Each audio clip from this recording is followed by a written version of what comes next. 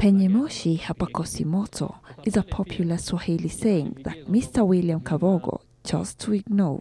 What do you mean? Why are you predicting? Why are you predicting defeat? Why do you determine uh, it's strong? Those polls are fake polls. Any other question? Tumeona Ferdinand Waititu hapa. Huyo nani? Clearly, he could not read the sign that he did not even recognize Baba Yao yuko ndani, ndani, ndani na akina Wanjiku.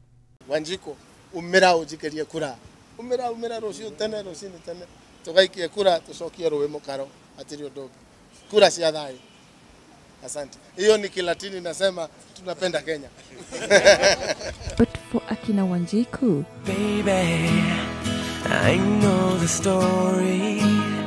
I've seen the picture.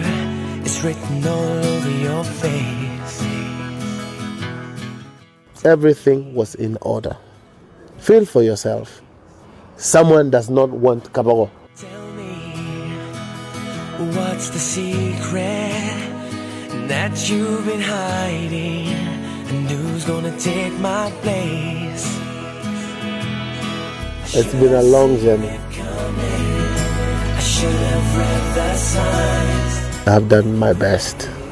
Ooh, should have seen it coming. It was great serving you. The signs.